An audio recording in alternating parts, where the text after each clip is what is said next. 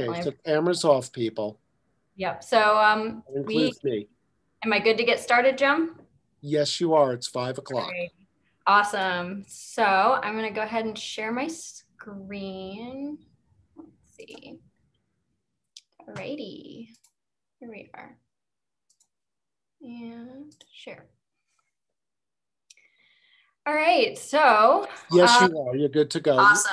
Lucy So Seaman, if I could ask you to turn your camera off. Oh, is there an echo? There we go. Okay.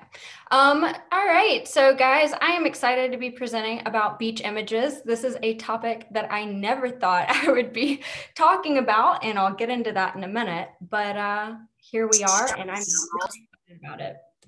So, uh, I'm going to tell you a little bit about who I am, why beach photography can be really hard, uh, how I actually learned to love it, and then I'll get into my 15 tips. So it might be uh, a good idea for you to grab a pen and paper if you would like to take notes for the tips, but uh, this recording will also be available later. So who am I? Um, I am a photographer, but I identify really strongly with being an educator and a researcher. Um, I specialize in landscape photography, but I combine all of my photography with my PhD research which is focused on um, climate change issues and how that impacts Indigenous people around the world. Specifically, I focus a lot on Greenland, which I could totally talk about endlessly, but that is not the topic for tonight. So feel free to message me if you want more information about Greenland. Um, some of my favorite partnerships that I have are with the Arctic Arts Project, which is an amazing nonprofit uh, Muench Workshops, and of course, Nisi for putting on this amazing presentation. Thanks to them. Um, also, a couple of other cool organizations that I've had a chance to work with. So, learning to love the beach, that was a long road for me. Um, I am not a beach person. If the red hair didn't give it away, the beach is not a place that you would normally catch me. Pretty much everything at the beach is trying to kill me from uh, the fact that I'm not a strong swimmer and that I get sunburned really easily and that I'm convinced sand has no redeeming qualities. But I, I've really avoided the beach my entire life. I felt, especially for a photography standpoint, that there was just nothing to take a picture of. These were my initial impressions. There's nothing to take a picture of at the beach. It's pretty boring. There's no good subject matter. Uh, every picture at the beach always looked the same sand, water, sun. Pretty much the same thing over and over again. Uh, I felt that the beach never changed, that it was not a dynamic environment, and that it pretty much always looked the same way. And I also felt that you can only get so many sunsets before finally you get sick of them. Uh, and every sunset eventually kind of starts to look the same. And these are the reasons that I had in my head for why I never took pictures at the beach, even though I'm a landscape photographer. It was the one landscape that I avoided, completely avoided as much as possible. Uh, so, why is the beach so hard? Um, because it can be really boring. Shooting at the beach can be super boring. I'm not talking about this type of beach, right? We've all seen these amazing coastal shots with rocks and mountains and all this action and dynamism going on in the scene. That's not what we're talking about here. We're talking about this type of beach. It's the exact location that pretty much every single one of you are going to end up at at some point in your life. You're going to go on a family vacation to a beach that looks something like this.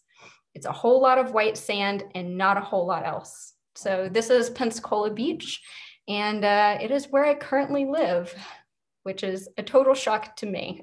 uh, I learned to love the beach because I didn't have a choice. Um, COVID forced me to learn to love the beach. So when I, uh, I before COVID happened, I was fully nomadic. I lived on the road. I alternated between workshops that I was teaching, bouncing around between friends and family, um, constantly living in a car, living in a you know camper. I was just on the road full time. Um, and when COVID happened, I didn't have a choice. I had to put down roots somewhere. And the choice that I made was to go where my family had moved after I had left home, which was Pensacola, Florida. So Pensacola, Florida is a, as you can see, a very flat, white, sandy beach. Definitely not somewhere that I thought that I was ever going to end up being someone that really doesn't like the beach very much. Um, but it's where my family was, and it made the most sense at the time. Now, with lockdown and everything, I'm sure many of you can relate. We got pretty creatively starved. Um, a lot of us were struggling to find things to shoot. I personally was really struggling with staying inspired to get out and shoot. Um, and I felt like I had moved into what I called it this adventure wasteland where there was nothing I wanted to take a picture of, nothing captivated my imagination. And I was very not thrilled to be here. Now, if you're a beach person, maybe you can't relate, but understand that me not being a beach person, this was kind of like my idea of hell being in this type of location with what I thought nothing to shoot. But I learned to love it. Oh, let's see. I finally learned to love the beach. Um, what I ended up doing was I promised myself that I was going to get over my phobia uh, and that I was going to get out every single day. I set my alarm. I woke up, you know, at five in the morning for sunrise every single day. I went out to the beach for months, every day. Um, I was tenacious about it and I was determined that I was eventually going to find a way to shoot the beach in a way that I was excited to do it and that I could create really compelling, interesting landscape images. Something I thought might be impossible to do, but it was a challenge that I was willing to accept. So, in the course of doing this, I'm not even going to pretend to you that I'm a beach photography expert. Hardly, I'm scratching the surface. Um, but I've committed a huge number of hours in early mornings and coffee cups to going out and shooting, and I've learned a lot in this time. So, I'm going to go over what I consider to be my top 15 tips um, what you can expect from this is that I'll breeze over a couple of the more basic ones, but I'm including them because the audience is probably a very wide level of photography skills. So it could be helpful to include them anyway. And then we'll spend more time on certain topics. Um, I've also included lots of images throughout with some of my settings. So you can see kind of uh, where my settings are when I'm going through these shots. So without further ado. Uh, the first one, it feels obvious for those of us who have been shooting for a while, but if you're just getting started, my number one tip is going to be shooting RAW. There's a million reasons that I could tell you why you should be shooting in RAW, but for beach photography in particular, uh, RAW is very important. The reason for this is that beach images tend to have extremely high dynamic range because you're usually shooting at sunset or sunrise and the water is dark. So you have this huge dynamic range with a bright sky and a dark foreground. And if you're not shooting in RAW, then you're not going to have all the information that you want in that picture later so that you can edit it. So having extra data means you have a much better chance to recover highlights and shadows when you're editing later on when you get home. So definitely want to shoot in raw. And also, and another reason is raw gives you more flexibility with your white balance. And when you are at a beach surrounded by white surf, white sand, and a bright white sky, your white balance can get really messed up. Um, so having a little bit more flexibility with that in post is super important. The second one is keep your lens clean so you don't end up with a picture like this. Um, I shot that entire morning and clearly I wasn't fully awake yet because every single image came out like this, which was blurry because I had gotten uh, some sea spray on the lens, like right off the bat, and not a single picture was salvageable, even though I had amazing lighting conditions. It's very frustrating. So keeping your lens clean is a constant battle. Uh, you don't want to end up with pictures that could have been great and ended up not being so awesome because it's covered in spots on your lens. So one of my tricks that I do for this is using lens wipes instead of microfiber cloths. The reason for this is because the wind coming off of the water is constantly bringing spray onto your lens, just the tiniest little drops of spray, and it builds up over a while. If you're using a microfiber cloth, it tends to smear really badly when you're talking about salt water. And another problem is that if you're reusing it multiple times, if you were to get a grain of sand on that cloth and then rub your lens, you're going to have a very sad day. So I always use lens wipes over a microfiber cloth. There are lots of cheap options available online. So definitely should be looking at getting some of those. They're also really good for just cleaning the whole exterior of the camera body and getting some of the salty spray off. Um, there's nothing that's going to ruin your gear faster than leaving any type of salt uh, film on your equipment. So this is super, super important.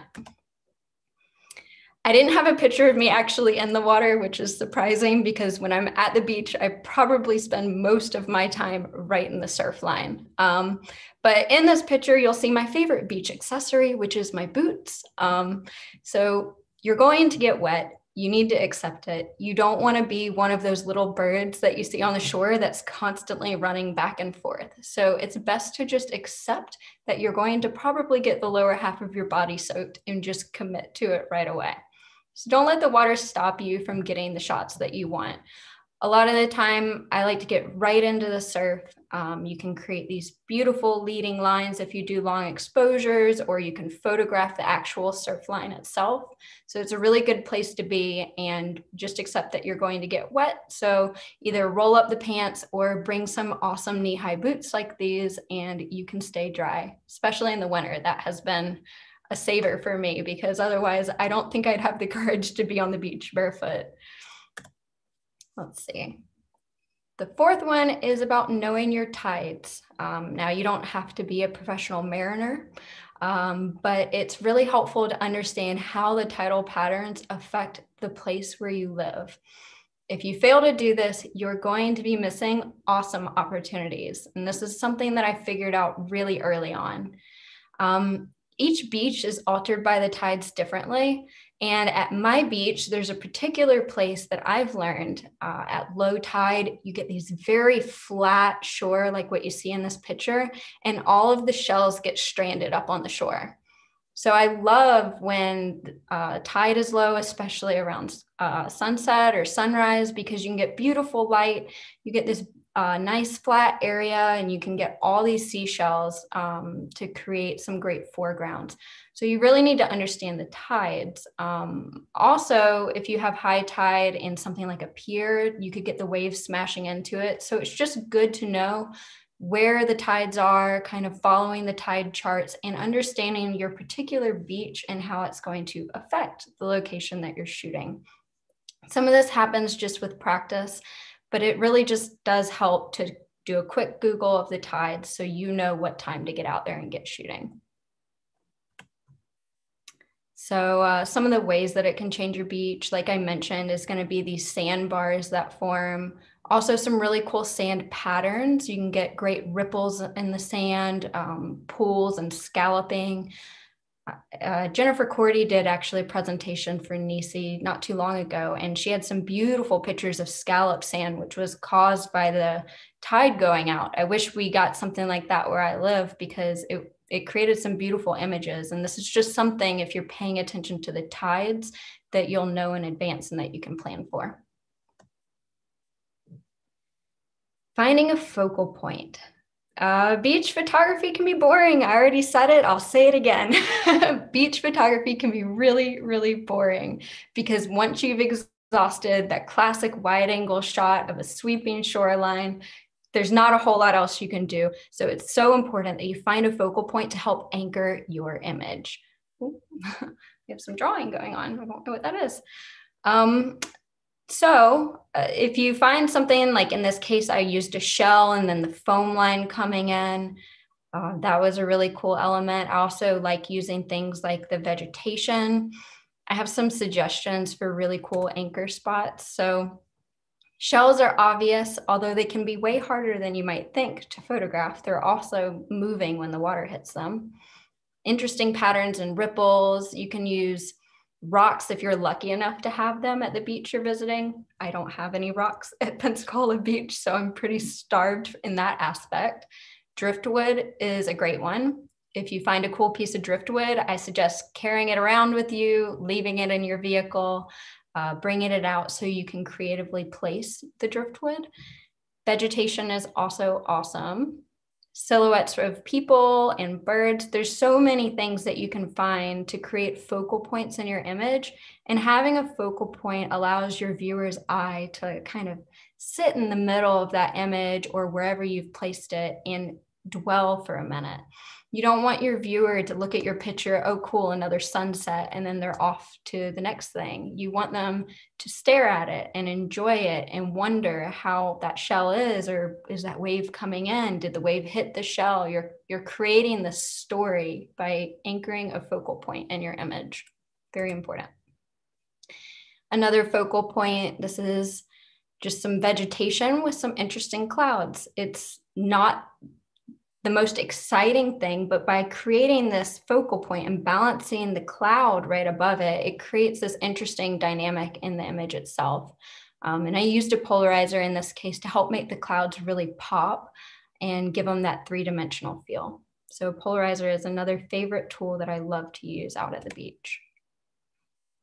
Here's another example of a focal point. Found some nice little flowers with the sunset behind them. So you get nice and low and you let the flower kind of be the place where the viewer's eye is gonna rest.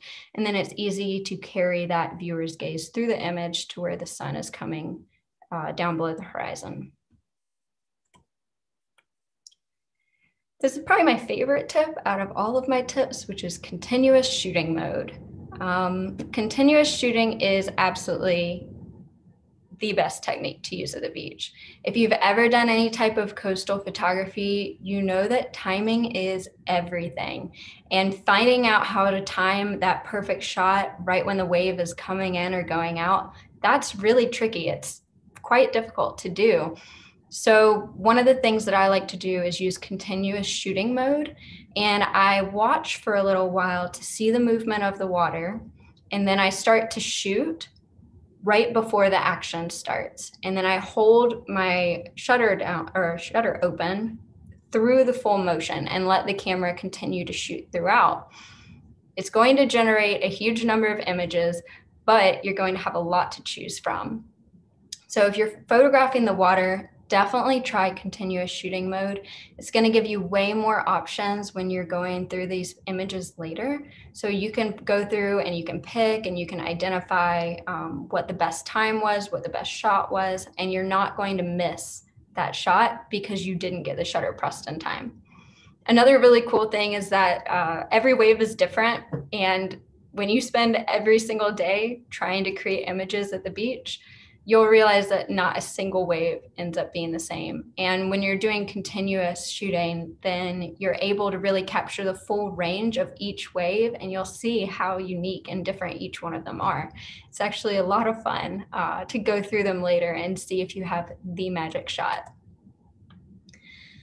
Like I said, the technique is to begin shooting right before the motion and shoot through the full end of the motion. That way you have multiple chances to get the shot.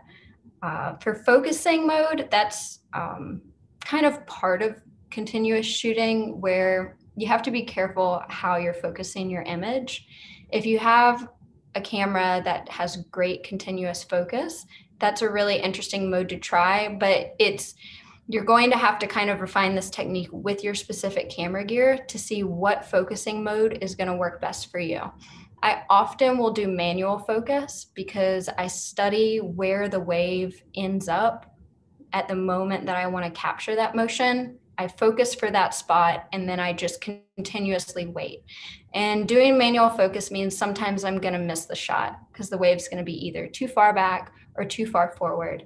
But when it is just in that zone that I'm trying to capture, it's going to be sharp and you're not worried about how do I autofocus on this moving object that's coming directly at me? So try different focusing modes to find out what might work best for you. So this is an example of a really cool shot that I got with continuous focus. So uh, the trick, see, I've been trying to create a picture that looks something like this for a while, and I I got very frustrated because the shell is always moving when the water hits it. So don't judge me too harshly, but I ended up coming up with a hack for this. I got some little wooden dowels. I cut them about four to five inches and hot glued some shells on top so I could create this vision that I had been wanting to create for a while. I love this image. So if I hadn't been using continuous shooting, I would have totally missed this shot because this shot is just this briefest moment where you have these cool little crisp bubbles right on top of the shell. And it's just a split second. So if I hadn't shot continuously, there's no chance I would have gotten this, um, or I would have had to be there for a very long time trying to get it. So I'm pretty happy with this image, and continuous shooting is definitely what made that possible. So my seventh tip is the same tip that I give people for all types of photography, and it turns out that a beach is no different. Uh, it's so important to tell a story with your picture. The beach can feel very monotonous and it can feel like there's not a lot of diversity in the scenes you can shoot. So, the best way to fix that is to focus really hard on telling a story. So, the story is obvious with this one. There's a path to the beach, and anyone looking at the image can imagine themselves walking down this path, and they can imagine their feet in the footprints in the sand. And telling that story is going to help people connect to your image. So, this is a good way to beat kind of the boredom and the repetitiveness uh, that you can get with beach shots. And again, it's the same principle that you would use with any other type of landscape photography. And you just have to remember to take those principles and apply it to a different environment. So it's going to help connect your viewers. And some cool ideas is footprints, which is a really classic uh, beach shot. And this is an example of some good pathways. Silhouettes are also a really good way to create a storyline. So I have some great shots that I really enjoy of two people holding hands walking into the sunset. Sounds cheesy, but it creates a cute story. Uh, and of course, you can use things like flip flops or a beach chair looking out to the ocean, even seashells. These are all things that create stories in your image that's going to help your viewer connect to it. And it's going to be a lot more powerful than just a beach shot with a great sunset great sunset, great lighting, that's not enough of a story, right? So it can't just be about the clouds. It can't just be about the sky. You have to have something to make a person connect to it.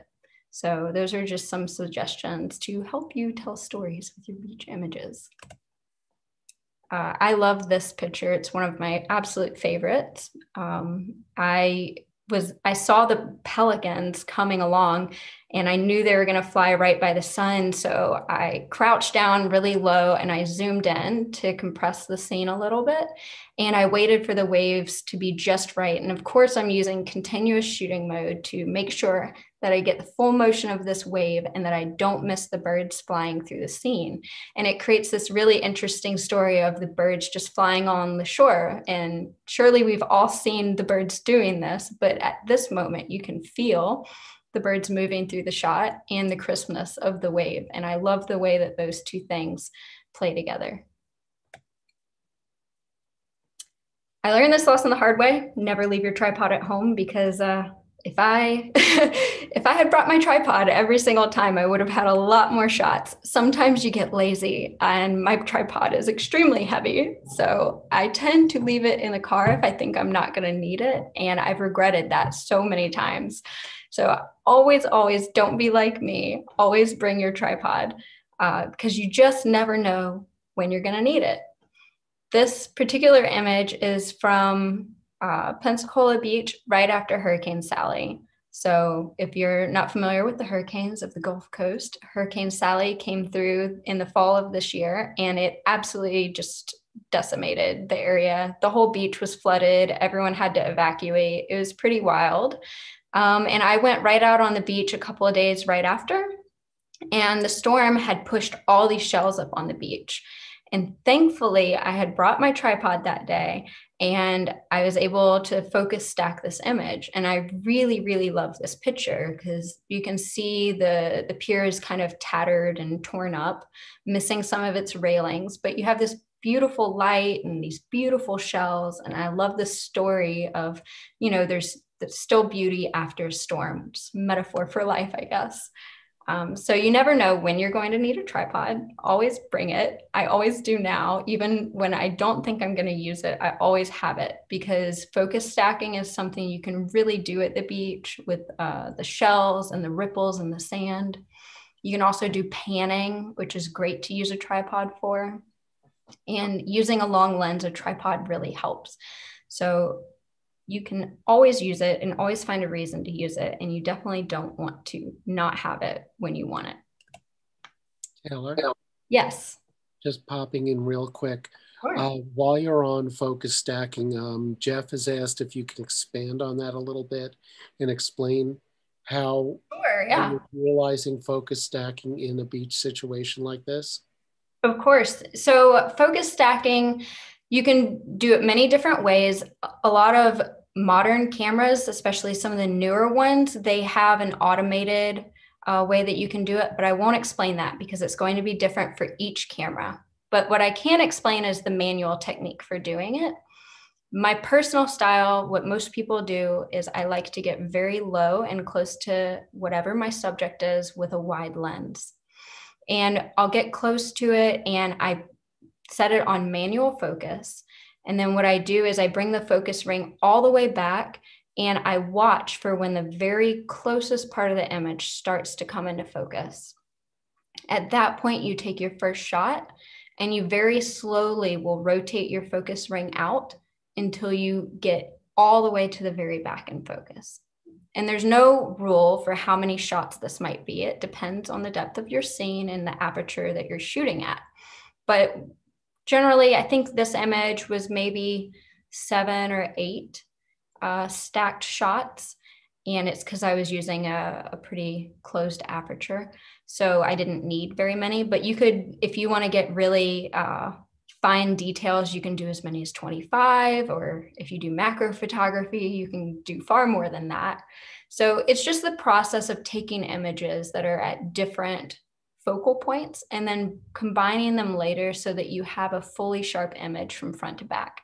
It can be a lot of fun. It can also be very painstaking. Um, so, because you have to be willing to commit a little bit of time to it but it is one of the great ways that you can get good shots of seashells because it's very difficult at the beach to get a shell, which is a very small object right in front of you, in focus without completely having the background com- just absolutely blurred out. Um, so, one of the things that you can do is to stack it, and that helps solve the problem. So, did I explain that fully enough? hopefully so. if you have more questions, that's okay. We can cover it in the chat later, and I'm happy to talk more about it. Talor, it took me a second to get off of mute. Okay. Um, I think you did a great job of explaining it. Do you, although in what software do you use to combine the images, and is it automated or do you is it a is it a completely manual process that you use? Um, okay, so there's multiple answers to that question. So I use Photoshop personally. Um, I import the images as layers into Photoshop, and then I at first start with the auto, the automated process. So I will automatically allow Photoshop to align the images. And you'll have to find maybe some YouTube videos to walk you through these particular menu settings because it probably isn't helpful for me to explain them right here. But so I go to auto align and then I go to auto blend mode and I allow Photoshop to do its best guess for stacking. I find that it, it works somewhat, but if you have a really complex image like this, where there's not clearly defined lines, because you have many, many shells, right? And it's very difficult for Photoshop, which is just a software program, to understand where the lines are. So I go in behind Photoshop and I clean it up manually, and it, can be extremely tedious and time intensive. But in my opinion, it can be worth it because I really like the images that it produces in the end. So it's definitely worth the time investment. Pretty much everybody who looks at focus stacked images, they're like, wow, how'd you get it sharp? And that's the trick. You have to stack it from front to back. It's very difficult to do it in a single shot. So I think Photoshop, the auto, the auto stack does a pretty good job though. If you don't want to do the tedious um, manual step after, it does pretty good up front. So it's definitely a good running start. Um, all right, moving along. So experimenting with focal length. Lately, I have been obsessed with my 70 to 200 long lens. I don't think I've taken it off of my camera because I just started discovering these new ways to see the beach. Shooting with a wide lens is the most obvious choice, right? You, you're going to walk onto the beach. You have this huge landscape. And of course, naturally, you want to put it all in a picture. So almost everyone is going to immediately go for a wide angle lens, and that is fine. You can create amazing pictures with wide angle lenses like the one on the left here. So this is 15 millimeters, nice and low, really wide, focused on the vegetation, and you get lots of sky. So that's a really cool way to get this grand sweeping view. But I have found that I get bored with wide shots way faster than I do with a telephoto lens. Using a zoom is one of the most fun ways to shoot at the beach because I, I could honestly shoot the surf line here with the water droplets flying up, I, I, could shoot that for hours and not get bored at all because every single image you create is dif- different. They're all unique. Um, they're very dynamic, and you can get these cool uh, shapes and motion of the water as it's crashing. I literally what I do is I have a, a, beach blanket and I go and I just lay on my stomach right in the sand, right at the edge of the surf line. And I prop my uh, elbows into the sand and I can shoot this for hours and not get bored. And I never am sorry to have to go through all the images. So a long lens provides you a lot of cool creative opportunities. You can really focus on the, the drops of water that spray up. You can focus on the, the flowers on the shoreline. You can zoom out to the curl of a wave and compress it against the pier. There's all kinds of cool things that you can do with a long lens. And don't forget about the wildlife too, right? There's always going to be a bird or a crab or something for you to shoot. So a long lens is super versatile and people usually don't go for it at first, but I'm a big advocate. So I strongly suggest that you go out to the beach with your long lens and uh, learn to see the beach in a whole different perspective.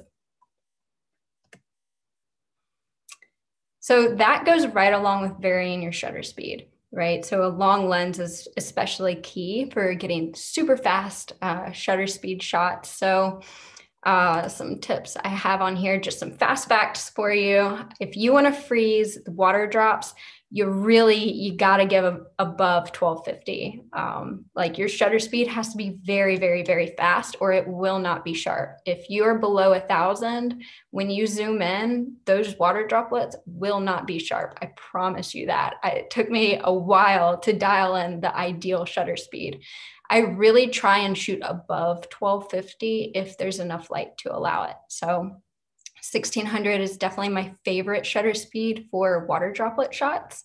But of course, when the sun starts going down, that gets really difficult to shoot that fast. So you have to get used to uh, introducing a little bit of noise into your image. I have learned that water and sand is very forgiving if you have to bump your ISO up. So don't be afraid to do it uh, and get that shutter speed really quick so you can get these really fun shots. Um, so varying your shutter speed is a very dynamic way to see the beach. Uh, most people tend to go straight for long exposures, and that's fun. I, I enjoy doing long exposures as well, but I've I've had way more countless hours just laying down in the sand and trying to shoot the surf line as it comes in or the little spray that comes up and watching the light dance on it. So I never get bored of doing that. It is really fun. So definitely try bumping up that shutter speed. Um, for an encroaching foam line, I shot this, the one on the bottom is at 1250. So that's pretty fast. You can really start to um, get a sharp foam line around 500. So you don't need to be as fast as I was. Um, so around 500, you can get a pretty sharp foam line. Anything slower than that, and you're going to realize that it's not sharp. Um, also, pan, yes. Is there a question? Yes. Um, I'm sharing a question. You, um, I'm going to ask the question the way I would ask it. Scott had asked, what ISO are you using? I would say, do you have any parameters on ISO? Will you not go above a certain ISO? Or do you purposely try and keep your ISO as low as you can? what's your position on on the, that setting? So it, it's very specific, right, to the lighting conditions. I try very hard to never go above 600 or 800. Um, I mean, occasionally I'm going to break that rule. I'm pretty sure this top shot was around 800. The bottom one was probably a little less than that. But the sand is very forgiving for noise, right? Because it's naturally textured anyway. Um, so is the foam in the water. It's all very forgiving. So I have grown to be much more comfortable uh, with bumping my ISO up. One of the things that you can do is shoot on shutter priority mode. If you know that you're going, you want to catch water droplets, you need to be above 1250. If you want to simplify the process, put it on shutter priority mode and let your camera figure out the rest. But is a very important caveat if you do that, you have to make sure to set an upper limit on your ISO. Most cameras will allow you to do that. If you put it on auto, you can usually set an upper limit, and that's very specific to your camera model. I suggest that you kind of look into that for whichever camera you have. But if you don't set an upper limit, you're going to get crazy high ISO, and you really need to make sure that your camera is not going to try and go above a certain amount. So kind of determine what your threshold is that you're comfortable with and make sure you set a limit if you're going to use shutter priority mode. Um, usually, my favorite conditions for shooting these types of shots is right around sunset or sunrise when you can get beautiful side lighting that backlights the water droplets, which is really obvious in the first shot here is that they're, they're side lit by the setting sun and it's creating this nice little glow within them you're not going to have a lot of light to work with. And if you need a fast shutter speed, you're just going to have to to crank the ISO up a bit, and uh, otherwise you won't be able to get the shot. And I mean, I usually will open my aperture up pretty wide, but I try not to ever go below f4 um, because once you get a super narrow depth of field, say 2.8 to let more light in, you're going to miss so many shots because it's so hard to predict where the wave is going to crash that uh, you're going to be constantly missing shots. So a little bit of ISO can go a long way and uh, help create some images that you wouldn't be able to get otherwise. So hopefully, I believe it was Scott. Hopefully that answers your question. So if there's no other questions about shutter speed. There's actually a question about going back to that shot. Uh, uh, on the pier shot, what lens and what settings for the pier shot where you did focus stacking? Um, I apologize. I should have put my aperture and everything on here. So this is, I took this with this was back when I was shooting Fuji, um, which is a crop sensor, and I have a 12 millimeter prime, which is roughly an 18 millimeter full frame equivalent. Um, and so it's a pretty wide lens. And if I had to guess, I was probably maybe like a eight or nine on my aperture. I usually stick right around there because that's a really sharp point for my lens. So I try not to deviate too far out of that range. So hopefully, there we go. So, I mean, for focus stacking, the name of the game is get low, use a wide lens, get super close to your subject, and uh, let the manual or automatic, depending on your camera, focusing kind of do its job and work its magic.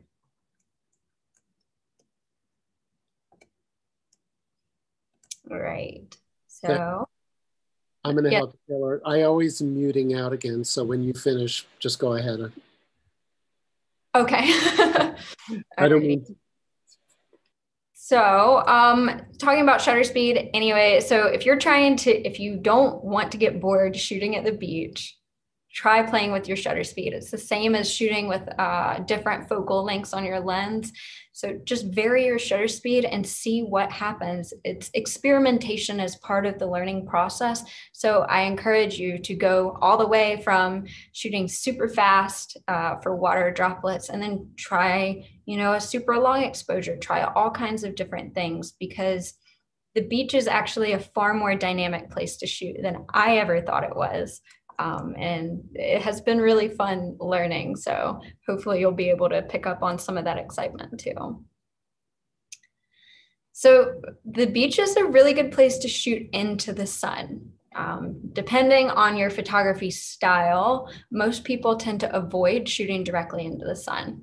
For me, I kind of, it's always been part of my style to shoot towards the sun, but the beach is the perfect place to do that right? So you have the water and it's creating all this dynamic motion, and the sunlight's going to come straight through the water. And it's absolutely magical, especially around sunrise or sunset. And the best conditions eh, for this these types of images are the waves in the the bottom image the bottom right where you have this offshore wind that is blowing back the curl of the wave and it's creating this golden mist that the light is coming through. So don't focus away from the sun. Always kind of pivot, look towards the sun, and see what it's doing to the water because it creates these amazing magical moments uh, where all the mist in the air turns golden and the water gets backlit. So these are moments that you definitely want to capture. Um, and one of the tools for doing this is going to be a graduated ND filter. So definitely a grad filter is your friend. We'll get to that in a minute. so grad filters definitely make it possible. I already mentioned shutter priority mode, but I occasionally will use shutter priority mode. Personally, I like to take control of my camera, and the beach is a really good place for you to work on your manual uh, putting your camera fully on manual and really beefing up those skills. You have so many different things to take a picture of from the motion in the water to seashells to wildlife to people to there are so many things and you're constantly going to be moving from subject to subject having manual control gives you immediate control over your camera so that you can dial in those settings another thing is that frankly, I, I don't trust most cameras, especially on the very white sand in Pensacola Beach, to help me come up with the right exposure on their own. I never would shoot an auto because I found that I either get super overexposed images or the sand ends up totally gray and flat because the camera doesn't know how to register the white sand the same way that it doesn't measure white snow very well. The camera's always looking for middle gray. And because of that, uh, it's going to be metering above or below and really either over or under expose your uh, the sand in the foreground and the whiteness of the waves. So taking control super important. I really really encourage you if you don't already shoot on manual to beef up those skills if you want to get good at beach photography because it's going to help you take control of your image and create something that you want to create whatever your vision is so when you have these high dynamic range shots, like shooting into the sun, you have a very, very bright sky and a very, very dark uh, water and shoreline, your camera is not going to meter that very well on its own. You need to take control of your gear um, and make sure that you are creating the artistic vision that you have, right? And don't let your camera decide that for you. So it's the perfect place for you to go and work on these little details where you're practicing things like shutter speed, practicing skills like aperture, and you can really get down and sit there for a while and just enjoy the water and enjoy the wind and practice your skills. So so take control. Definitely just uh again, I put it down here at the bottom. I said it before, I'm going to say it again. If you do shutter priority, don't forget to set an upper limit on that ISO or you're going to end up with very, very grainy images. So very important. I'm a huge nerd, so I made graphics because I can't help myself. That's the researcher in me. So something that I, I, always have to tell people when they're coming with me to shoot at the beach is know when to use a polarizer, but it's almost as important to know when not to use a polarizer. Using a polarizer is amazing anytime there's water in your scene, right? Because you can cut the glare off of the water and cut the reflected light and really isolate all the rich colors that are actually in your environment. However, the beach creates some cool, well, not so cool challenges for using polarizers, especially if you're using a wide lens if you're trying to shoot really, really fast, it's going to rob you of one to two stops of light. So if you need to shoot really fast, you're probably going to have to ditch the polarizer. The other thing is when you have a wide open horizon, like you do at the beach, which is just an uninterrupted sky, you can run into an issue called banding, especially if you're shooting with a wide lens. So it's something that you have to be aware of, or you're going to end up with shots like this, where you can see the dark splotch in the sky. And this is it's banding that's created by using a polarizer when I'm shooting a wide lens. So looking at the diagram, it's the polarizing effect is strongest at 90 degrees from the sun. I promise it's not a math lesson. I'm not going to teach any algebra right now or geometry, but if you point your finger at the sun, your thumb is roughly at 90 degrees. So if you rotate your wrist, as you can see in the diagram, and if you can see me on the video, that's going to tell you where the strongest polarizing effect is. When you have an uninterrupted horizon and you're shooting with a wide lens, your field of view can run into where it's not so strong, where it's very strong, and then where it gets weaker again. So the diagram on the bottom will show you at 90 degrees, you can get banding. I hope I'm not losing you on this because it's a really important concept and I made pretty pictures to try and explain it. So in this image, the sun is behind me to my to the left and it's somewhat low on the horizon. And because of that, if I were to point my finger towards the sun, my thumb would be right where this banding issue is. And it's something that you have to think about when you're shooting at the beach. It's why it's important to know when to use a polarizer and also when not to use a polarizer. And the beach will really test those skills because this problem uh, created by banding can be hard to fix in post processing. But if you understand in advance what the issue could be, then you can really use a polarizer to your advantage to see through the water and get really rich colors and see the beautiful teal colors of the water. Um, so polarizers are invaluable, but you just want to make sure that you're using them correctly and that you're looking out for issues that could come up. So I already mentioned that grad filters are your friend, and I really mean it. Anytime you see me shooting at the beach during sunset or sunrise, you're probably going to see me with a grad filter on my lens. And the reason for this is because beaches have crazy dynamic range. There's no trees or mountains or anything or buildings to interrupt the amount of light that is coming from the sun. So you are getting the full force of it. And the sky is going to be crazy bright, and you want all the beautiful colors of the sky. And you also don't want a super dark uh, foreground. And the only way for you to do that is to use a grad filter. Now, I know what you might say. You could always bracket an image. And uh, if you don't know what bracketing is, that's when you take an exposure uh, above and below your proper exposure, and you can use those together uh, to combine them and create a high dynamic range image.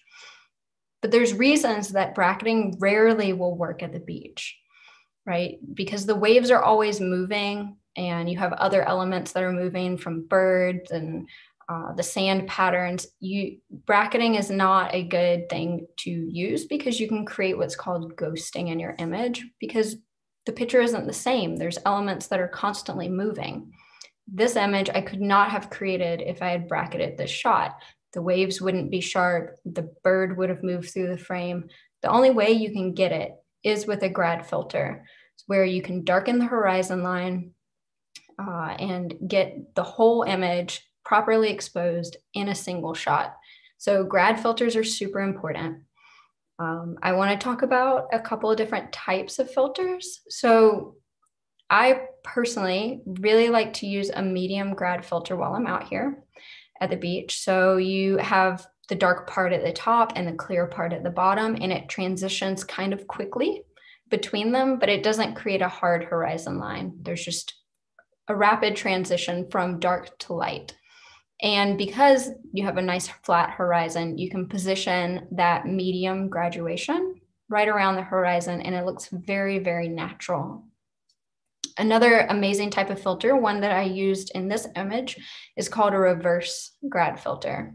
So a reverse grad filter, I should have included a diagram in here, is uh, where the dark part of the filter is in the middle and then it gradually fades up. And it's perfect for when you have the sun on the horizon. You want the darkest part to be where the sun is, and it's going to preserve your highlights in that shot. So a reverse filter is awesome. And sometimes people will use hard grad filters, which is where there's a hard transition from dark to light. Personally, I don't use them because I find that they can be very unforgiving. But if you're very precise with your tripod, it is absolutely a great tool that you can use because uh, you can perfectly line up that transition on the horizon. But you only want to do it when you're using a tripod because if you mess up that horizon, it's very hard to fix. So reverse filters definitely a favorite. So is a medium grad filter. I see some chats popping in. So if there's questions, I'm happy. Yeah, actually, I'm going to pop in on this because this comes up a lot. Um, so Gary is saying thought on mechanical versus Adobe Camera Raw's digital grad filter. Um, just what your thoughts are on that, but not yeah. quite yet. Um, Lance was asking, can post-processing remove ghosting? He thinks that Lightroom has that capability. And then uh, uh, CH Price said something nice about I happen to have the two-stop medium. It's really nice for this. And um, I'm going to, the one thing that I'm going to say before you answer, Talor, is, is that the one thing about pushing the limits in post-processing and trying to balance mm-hmm. different sections of a photograph is, is that you start getting into um, to artifacts being in the um, in the uh, regions that you're pushing a little bit too far. Getting, I will always state, and this is a very big point about Nisi filters, that it's very it's very important to us that our customers understand, the people that use our products understand, that our philosophy is get it right in the camera, save you time for post processing, for enhancing, not for creating the image that you're after. And I'll, then I'll turn it over to you. Jim, you already you hit on on exactly. And for full disclosure, I shoot Nisi filters because they are the best in my opinion. I, they're absolutely the best that I've tried. But uh, you can there there are simulated grad filters right that you can apply in something like Lightroom, where you pull down and you darken the exposure. But you want like Jim said, to get the shot right in camera because you're preserving all of the details and all of the information in those individual pixels. Right. So, what happens is when you're post processing, if you're just going to try and apply a grad filter, I do it from time to time for a subtle effect. But if you need to adjust a very high dynamic range, like this shot, shooting directly into the sun, if I had no grad filter on and I'm trying to drop those highlights, I can assure you I'm going to start getting some very strange colors around the sun, very unrealistic oranges and yellows.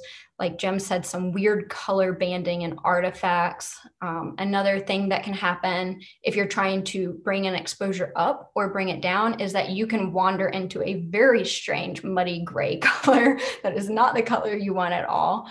Um, I can very easily identify images that I see online where people have aggressively applied these uh, digital manipulation tools to correct their exposure, and it's they're pretty easy to spot. So you want to get it right in camera because when you get it right in camera, all the details, all the information, it's still in your image file, right? And you haven't compromised uh, that image at, in any way by altering the pixels by like bringing them up, bringing them down, and you're really preserving the integrity of that file. So I very strongly advocate for getting it right. I, I do get asked this question a lot by clients is, well, I, I don't want to hassle with the grad filter. I'll just fix it in post. And okay, I mean, sometimes you can do that, but when you have a very high dynamic range, I would not advise doing it. You're going to end up with a very muddy and flat looking image. So hopefully, hopefully that addresses the question. Jim, did I miss anything else? No, but I have more for you. Oh, good. uh, Elizabeth wants to know if in a GND, um, she a reverse, a medium, a soft. uh, just I guess go into that a little bit further. She's she's particularly interested in sunrise and sunset pictures. Yes, um, I'm actually going to.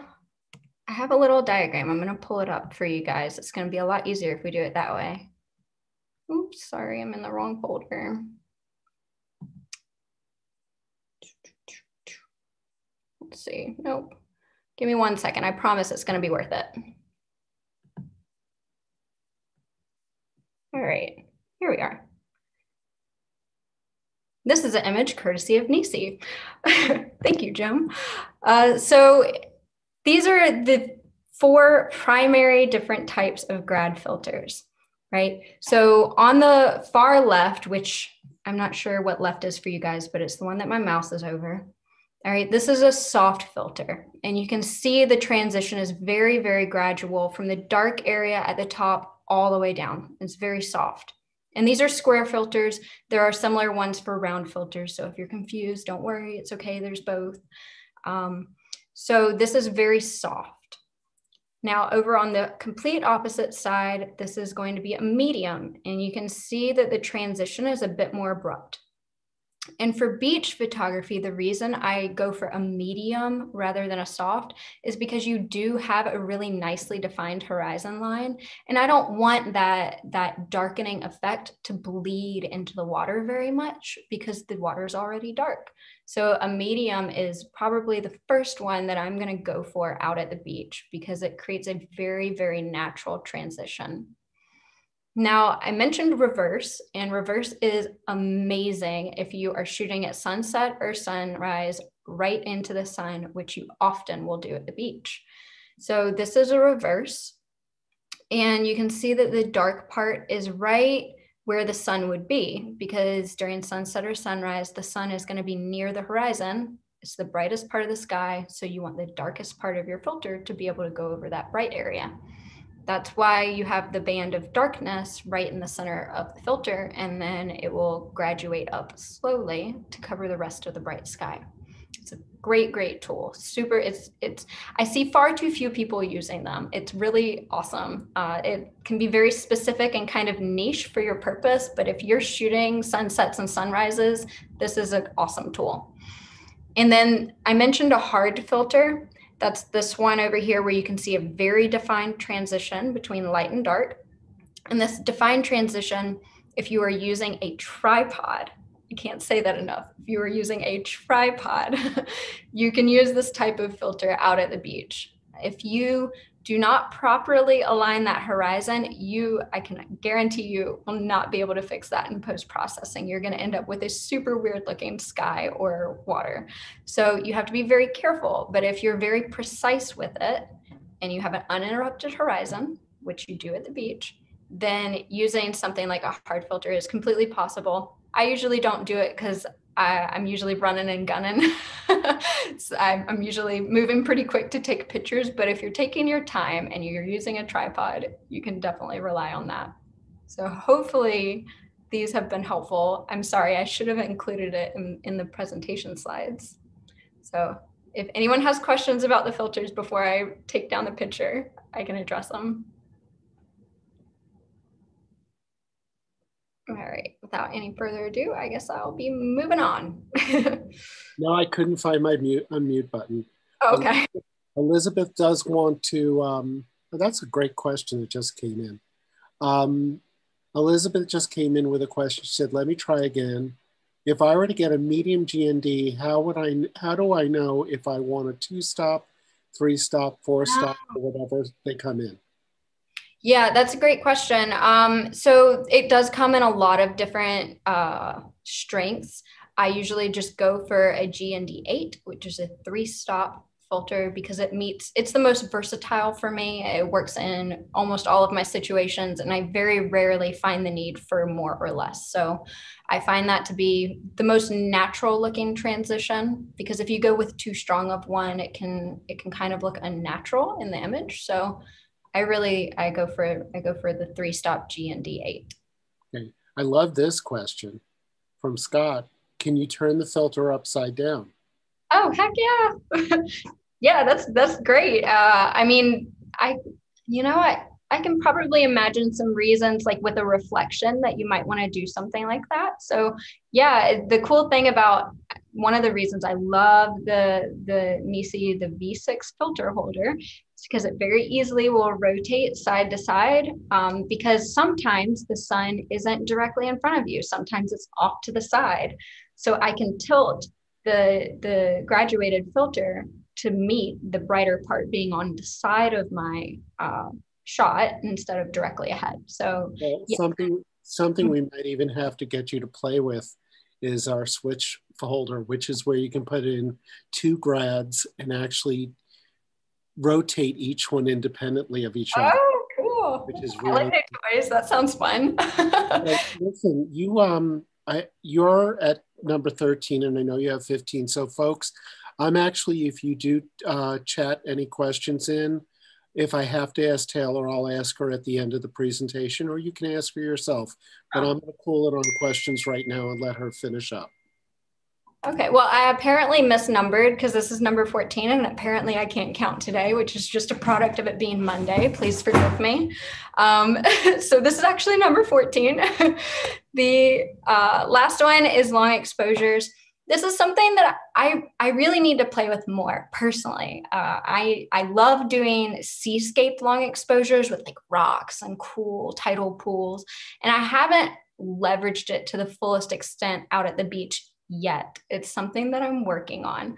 Um, so using ND filters, it can help you extend your shutter speed, get some really cool shots that show the motion of the water. And one of the cool things about using ND filters and varying your shutter speed is that you can create different emotions out of your image in different moods. I love that using a longer shutter speed can completely transform your image to have all the energy and excitement with action, which is what I like about this image is that it feels energetic. Even though it's a, a longer shutter speed, you can feel the motion of the water. You can see the waves kind of out and uh, see all the, sh- the white strings created by the foam in the wave. Uh, I like the action in it. And you can also do very long exposures, maybe multi minute exposures to totally smooth out the water and blur the clouds. And that can create a very calming, uh, tranquil mood. And I really like that you can create these different types of moods. So using ND filters is a great way to do it always bring your ND filters. This should be right next to your tripod. Never leave your ND filters, never leave your tripod at home. Always have them with you because you just don't know. This was a really crappy day at the beach. I mean, I like I said, I wake up every morning. I go out there even if the conditions are terrible. And this particular day, the conditions were terrible. It was just overcast and ugly and I just was not very excited to be there but I made myself practice something different and try and create an image. And I ended up with one that I liked because you just, you never know. Using a long exposure allows you to see the world in a different way and it can transform the picture that you see in front of you. This image would be incredibly boring without that motion in the water. So I was able to create an image that I ended up being happy with. Um, so just the bottom line is this getting great shots at the beach is not easy right? It's it's a boring environment. There's not a whole lot of subjects. I mean it feels like this is very frustrating endeavor. Trust me i felt that at the beginning. I felt like every shot looked the same but it's a really good place to practice new skills, right? And new skills could be practicing your shutter speed, practicing with focal length, practicing long exposures and using filters. It is a playground for that kind of thing because it's so much more dynamic than, say, for example, going out to you know some rock formations or something those i always thought were more interesting until i got to know the beach and i realized that the beach is far more dynamic than most landscapes I've ever worked with. So it's a perfect place to practice. There's we talked about a couple of things that you can incorporate into your beach photography, like shutter speed, focus stacking, storytelling. I already mentioned the long exposures and the filters. So just playing and experimenting and being willing to try new things in a very challenging environment can be really enriching for your photography. And I promise you're going to come away with more skills than than you thought you had. So we can move into questions. I guess I'm going to stop my sharing Um, this is my information. If you uh, wanted to find me on Instagram or um, on my website, I have lots of photography workshops listed. So if you want to come learn with me, you can come learn. Um, I do a lot of long exposures for some of my workshops that I do waterfalls and all kinds of interesting places. So you can check that out there. And I'm going to stop so we can chat. All right. Hey, well, that was terrific. I, you know, if if everybody wants to applaud virtually, you should. That was really Thanks. I'm going to ask some of the questions that I have in chat, and then I'm going to invite people if they want to, you know, come in and, um, and ask their questions live that they can. But one question is um, what from Jean, she wanted to know what filter for mountains. I, I would assume she meant grad filter because that's where she was at the time. That's where. Um, yeah, you're probably going to want to use a really like a soft ND filter because you have a disrupted horizon line, right? So it's not completely flat. You have all these other things that are taking place, like maybe trees or the hill itself. So you want a soft filter if you're going to use one at all, just to make sure that you're not creating some obvious, very strange looking transition across part of your subject. So you need to be aware of that. Um, I do see a question about circular or square filters, and I I get that question constantly, and I tell every single client that I love the square filters, like because the square filters are very versatile um, if you like stacking filters, which I do, I love to stack ND filter and a polarizer and a grad filter. I, I will put every filter on my camera and a square filter system is versatile and allows you to do that. I know that they can be a lot more expensive up front. It's the same thing I tell my clients that I started with circular filters and the amount of money I spent on circular filters especially not high quality ones, um, constantly trying to upgrade or buy them for different lenses. I, I spent less money just investing in a really high quality square filter system. So that's my two cents on that. But I'll remind you that we do have both. But yes. I'm gonna I'm gonna actually go down the line here real quick. Uh, do you? Uh, you're. I'm. I want to answer this question myself. Do you have a favorite case or wallet for your filters? The Nisi nine fil- nine pocket fil- filter pouch is not only a great filter pouch, but it also attaches to the leg of your tripod. So you'll always have your tripod and you'll always have your filters. But do you have any particular cases that you like to use, Talor? Uh, yeah, the Nisi one's actually pretty robust. So I've yeah. stuck with the original one. okay, then there's, do you have any tips for stabilizing your tripod on the wet sand at the surf line? Do you just bring weights? Uh, yeah, that's that's a struggle. Um, I'm guessing that you might have had that struggle if you're asking that question. So I I have learned the sand in the salt water is not going to hurt my tripod. It's not going to. It's not going to. I have to tell myself it's not going to because you panic and you don't want to get dirt in it and you don't want to get salt water in it and whatever. Just embrace it and do proper care and maintenance afterwards, I dig that tripod in the sand. Like I dig it down into the sand a couple of inches. If you have spikes, that's also really helpful. Um, a cool hack that I've seen if you're not going to get your tripod in the water is you can use tennis balls and actually cut a little slit in the tennis ball and pop them onto the legs. Uh, if you're only shooting on the sand, and that will keep sand out of your tripod. But usually I'm too far in the water and I've just gotten over the fear and I just dig in. Um, and then I always, always, the second you leave, I never close a wet, salty tripod leg back up. I leave it extended. You know, I look ridiculous putting it in my car. I don't care because I'm not going to get all the sand back into the bushings of the tripod. So I leave it open and I hose it all off. So just proper care and maintenance and just embrace the suck. so uh, Nancy asks, I use mostly 77 millimeter lenses. Would it be the the 100 millimeter or the 150? Um, go go ahead. Um, I'm sorry. What was I answered that? Maybe I didn't. She's saying that her her lens diameter is 77 millimeter, and uh, would the Nisi 100 millimeter wide or 150 wide? kits be better a better fit? Um, Jim, you might be better equipped to answer that, but I, I think the I have a 77 and I use a 100 millimeter kit and a. It's actually more important to know what your widest lens is. Mm-hmm. You know, you can use the 100 millimeter uh, filters on lenses down to 16 millimeters full frame without without any vignetting. You can actually go a little bit further. We've been um, we've been using a 100 millimeter system uh, on a uh, on the new Nikon Z uh, 14 to 24.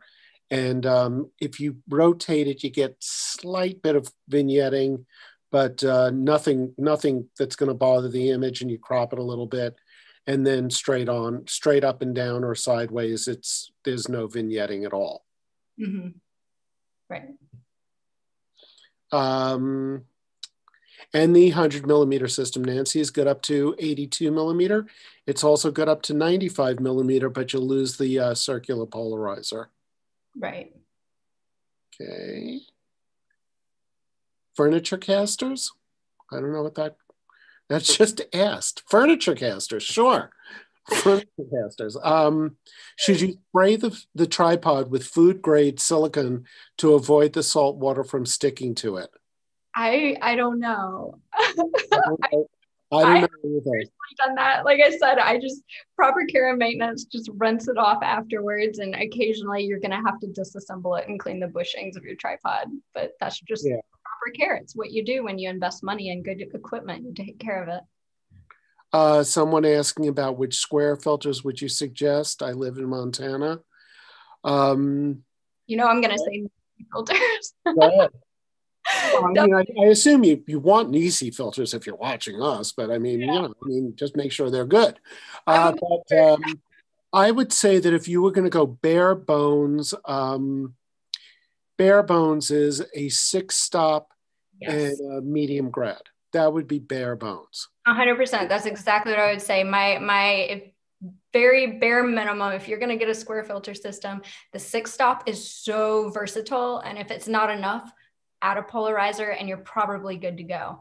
Um, so the six stop is awesome for all kinds of things. You can really extend your shutter speed for waterfalls, for coastal stuff, for you can maybe even get some blurred clouds out of a six stop. So really great, really great. And if you buy our filters in our kits, uh, that's a good savings as well. And now it might be a good time for me to remind everyone, and I hope uh, Andrew is on board here, that we have a discount to offer our uh, viewers on Nisi to celebrate Talor presenting for us.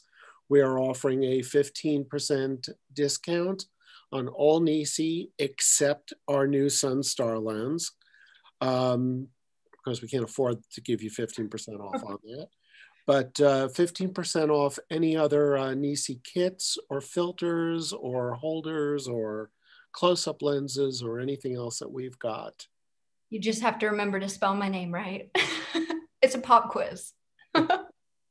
it's very cool. I like it. I like it a lot. Yeah, I thank my parents for that one. uh, do you use the Nisi app to calculate your exposure settings I or just do. I do actually. Yeah, I, I like so there's a million different apps to help you cal- calculate your exposure. I have the Nisi one for sure. That one works really well. Um, I mean, the more you practice with long exposures, the more you kind of will intuitively know for the ones that are not super long. But once you get more than like 30 seconds to like a minute, then I definitely will use a calculator app. It's really just, you just have to practice, practice, practice, practice. Um, and the long exposures will come very naturally the more you do it. So. All right. Well, I'm going to take a, a, just a few more minutes here to let, if anyone wants to, uh, turn off their mic, ask a question, then turn their mic or turn their mic on, ask a question, then turn their mic back off um, eh, or say hi or thank you, you know. I see a question from Lance about using the, how do you consider the polarizer when calculating your exposure? It's funny because, okay, so I'm, I'm actually building an online course for filters right now. So I just wrote this chapter. so you always, always will put your polarizer on first and then calculate your exposure, right? So you're gonna include, if and that goes the same with the graduated filter, you put them on first, get your baseline exposure, and then you will calculate from there because you can get your exposure through live view by already having those things on. And it saves you the trouble of playing a guessing game later of, well, is my polarizer a one stop or two stop or how precise is it? Skip all that mess go ahead and put it on before you start calculating and it's going to be way easier for you. Actually, the way that the V6 and our other holders are designed, our square holders are designed. By the way, for people who use smaller mirrorless cameras, we make a 75 millimeter version of our uh, filter kits as well. So if you don't exceed 67 millimeter thread on your lens, we have the uh, M75 and then we have the big S6 for your lenses that have that are the ultra wide lenses. But the idea with ours is the filter holder snaps on and off in uh, in front of the circular polarizer, so you can take your base exposure, and it becomes very, very, it becomes very, very um, uh, easy to get a base exposure, pop your filter set on, take the pictures that you're taking, pop it off, move a little bit, and and and shoot very rapidly with a with a system that's normally kind of arduous to use. It's one of the cool things about our our system is, is that it's very um, easy to manipulate in the field. Mm-hmm. I, I see a question about UV filters. I feel like this is a topic of some debate because some people are really big on UV filters and some people don't use them. Um, me personally, I never use a UV filter. Um, the reason is because I want as little as possible between my glass, my high quality lens glass, and the image that I'm trying to get a picture of. And especially when I'm out at the beach, you're going to get this really grimy like marine film that comes on your glass. It is constant. It is a constant battle and that's one of the reasons i recommend the wipes is that you're going to be constantly trying to clean your lens. So having that uv filter on personally i feel like it just gets in the way but i i feel like that's a personal choice. People seem to go back and forth on it so Many, i can see that argument either way too most lenses now are nano coated. And one of the benefits of being nano coated is that they're very resistant to uh, damage from dirt and everything. As long as you take care and no object, as you mentioned before, like a, a grit of sand or salt oh, gosh, yeah. between the cloth or the wipe and the uh, glass is not there. Um, I will say this: if if you're shooting with uh, if you're shooting in in these bad conditions a lot, and you really want to feel better about it, as long as you buy a good quality UV filter, in particular a Nisi filter, but a good good quality filter, yes. the price will pretty much tell you whether the filter is good or not. Then you'll um, th- then you're not going to really be um, compromising your image quality too badly. Um, Oh, and uh, I'd say on the lens wipes, I like the Zeiss ones. They're yes, that's what I use too. The, I mean, you can get a box of 600 of them for 20 bucks. yeah. I mean, it's hard to beat. And they're high quality. Now, also, uh, just a quick question because I, I always hate when my questions are run over when I'm on a chat. Um, the uh, the uh, grad filters do come in a variety of uh, stops. It's not as it's not as wide as just the, um, the ND filters that we have, but they're usually two, three, four stops. Some of them we have five. They're all on our website for you to take a look at. Uh, someone asked about a lens shade. Uh, lens shade is something very, very important. And um, I will tell you that we are looking at, an, at a lens shade solution for square filters. It's a little tricky because, you know, we're fighting against the vignetting, but we are trying to get a lens shade. It, it, it is, it is a good thing to have when, when, mm. when you can use it. Yeah, a lens hood can also be really helpful out at the beach because it's going to block some of that spray that's going to be coming at you. So um, definitely is a helpful thing. And you have to, if you're shooting with square filter system, there is a trade-off. So you just need to weigh your options and figure out what is most important to you yeah it's uh it's an ever it's an ever evolving hobby. You can you can just keep going deeper and deeper and deeper into it. You can always buy more gear, right, Jim? it's never ending. I make my living, so please do. But uh, but I also I, I, I know it I know it can get expensive. I will tell you that um, you know this is a good opportunity. The 15% off is a good opportunity. Buying our filters and kits is a very good cost saving opportunity. Uh, watch for sales. A lot of our dealers, we authorize our dealers to run sales from time to time. We run sales. We run sales from time to time. Um, just, you know, the best thing to do is just follow us on Instagram. Follow Nisi Optics USA on Instagram. You'll hear about anything that's going on. If a dealer in Florida is running a, a sale, we'll we'll throw a little uh, shout out to them. This is the week to buy your filter from them, or that. There's always ways to save money, and uh, and then for you people that wait until the very last minute, not only will we sell to you at full price, but we'll even send it overnight for a nice additional charge. You can't believe how many people we get that I'm leaving for I'm leaving for the Galapagos tomorrow. Can I get it priority first day? First first delivery. And it's like, you know, yeah, it costs a lot of money, but yep, okay. so um, I see a question about the 14 to 24 Nikon. I know that there is a solution for it. Jim, do you want to talk about well, it? We have a we have a 100 millimeter solution now that'll go directly on the 14 to 24. It's unlike the V6 and like the S6, which is the big filter set, in that you can't put a polarizer behind it. Uh, one of our unique features is, is that we put a rotating polarizer behind the filters. The 100 uh, solution for the new Z14 to 24, you don't have a circular polarizer. What you can do is you can buy our square polarizer and incorporate it into it. Now, the one thing that people seem to forget about the 14 to 24 is, is that a polarizer, you, you will have banding issues with a polarizer on a 14 millimeter anyway. So the holder without the polarizer is really not a bad thing. But we are coming out with the S6, which is the 150 millimeter solution that will have our circular enhanced landscape polarizer uh, in front of the lens. And then you can stack two um, square or rectangular filters in front of them. Thank you, Jim. Okay. Did anyone else have any questions about the beach stuff? Hopefully it was helpful. Like honestly I, I have i had a phobia of shooting at the beach for the longest time. I avoided it like the plague. And i'm glad that i finally learned to embrace it. Well what's funny is is that when we first started talking Talor you said oh i could do a great thing on waterfalls. And it's like but i just but someone just did a waterfall webinar for you. And i'm like i'm different people come at different times. Let's work up a waterfall so yeah I think we get a lot of great people there.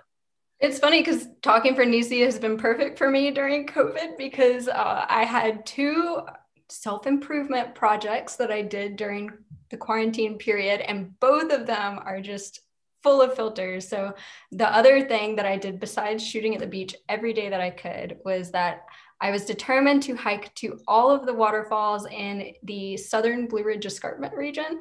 And I've gotten to about 280 out of 800. So I'm working on it. so that's a lot of long exposures. A webinar to me. So, folks, um, I guess we're going to wrap things up. I hope that's okay. And I just want you to know that um, Nisi Optics USA is always available to answer questions. You can reach us through chat. You can reach us through email. You can call us uh, nine to five on the West Coast, Monday through Friday. Happy to do that. Talor put up her information as well. Um, I'm, I'm sure I, you would love to hear I from it back up. Yeah.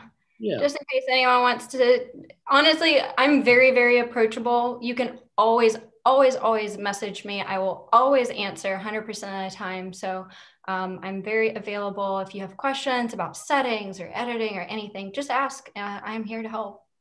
Fantastic. Well, uh, if it's okay, everyone, we're going to say good night. Thank you so much. And um, again, feel free to reach out if you ever uh, have any questions or want to share some comments with us. And by the way, when you got a picture that you're really proud of, put the hashtag Nisi Optics USA on it and post it on Instagram or Facebook. Chances are we're going to see it. And if we, uh, you know, catch us in the right mood, we might even post it on one of our channels as well and give you a nice big credit for it. Okay. Cool. Well, thanks, guys. I appreciate you spending your Monday evening with me. Take care. Bye-bye. Bye.